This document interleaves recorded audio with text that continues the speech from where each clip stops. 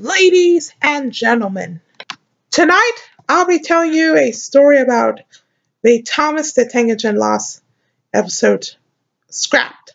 I'll be doing a creepy pasta reading. This is my first time.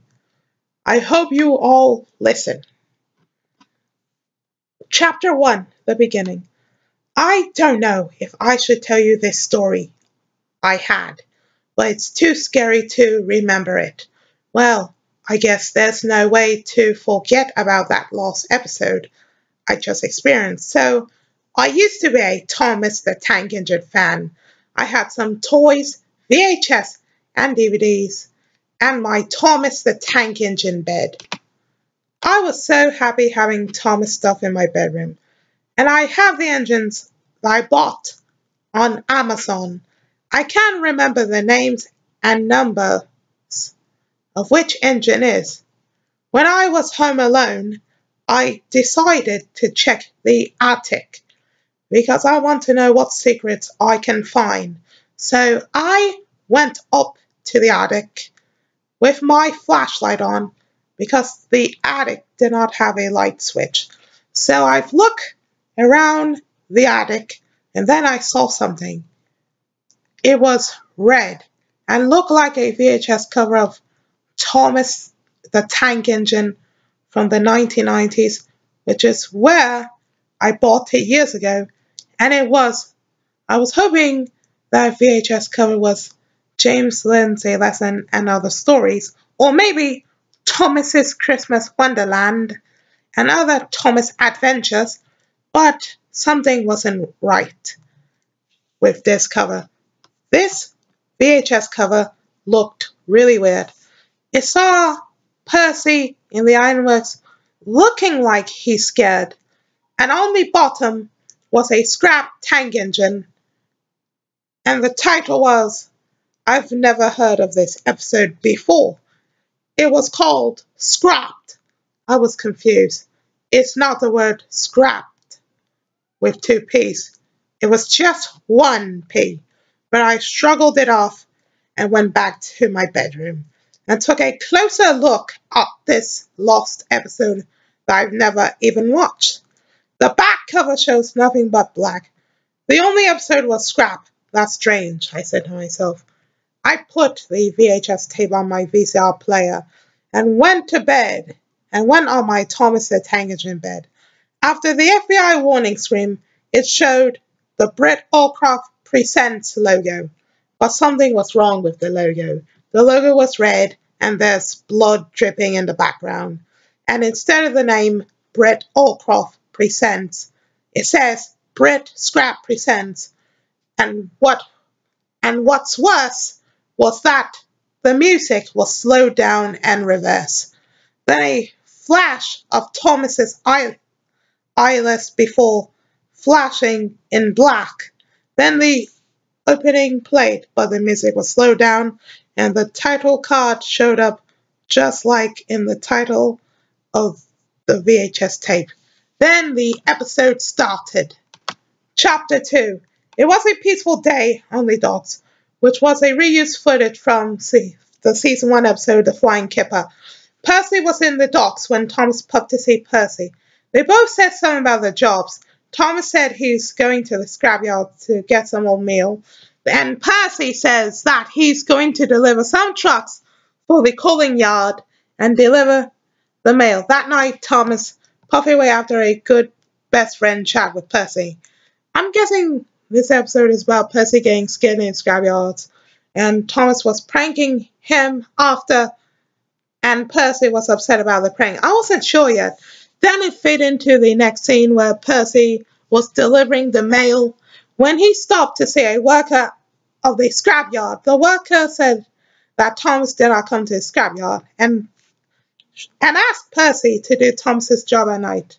Then it faded into another scene where Percy was going to the scrapyard alone, or maybe it was the ironworks. Meanwhile, Percy was calling Thomas's name, but there was no response. Then the doors closed itself. Now Percy was being scared and saying that Thomas was joking around. Even though Percy said that he was scared and doesn't want to stay here because something bad will happen to him. Then it showed the front of the scrapyard. after a few minutes or seconds, something went wrong, and boy, I wasn't prepared to for the next part, a handle with two spikes that showed up very fast. So fast, I jumped out of my bed like a jump scare from the Kaffe coffee commercial. Then two spikes jumped into Percy's eyes. Now this is the part where it gets brutal. Percy's scream sounds realistic. Then I saw blood coming out of his eyes. Then it pulled back. Percy's eyes were gone. And you can see inside his eyes, blood was coming out. Then Percy started to cry. Still sounded realistic. I was crying softly. Then, why would they do this to Percy? Then, he stopped crying, and oh my gosh, this was brutal. I can hear some chainsaws and drills. Then Percy started to cry again. And before and before I can understand what was going on, the chainsaw went down into Percy's face mask. It was bleeding so violently I covered my eyes. But I did not cover my ears. It went on after I heard the chainsaw stop. Then Percy let out a blood-curdling scream which makes his face mask fell off and blood was coming out. Then it cuts to black. Oh my gosh, I yelled in fear. I've never noticed something very bad and brutal. I knew something bad was going to happen, I said to myself. Then it fit into a junkyard where the old cars and trains were scrapped. Thomas puffed into the entrance of the junkyard. Then Thomas stopped where Percy was in the shed. Both of them were scrapped. Their designs were rusted instead of their numbers. They have the word that said scrap. I was very sad to see the best friends being scrapped. Now I know why they banned the episode. It was going to be the last episode of Thomas the Tank Engine, but they did not air it on TV because of Percy's brutal death.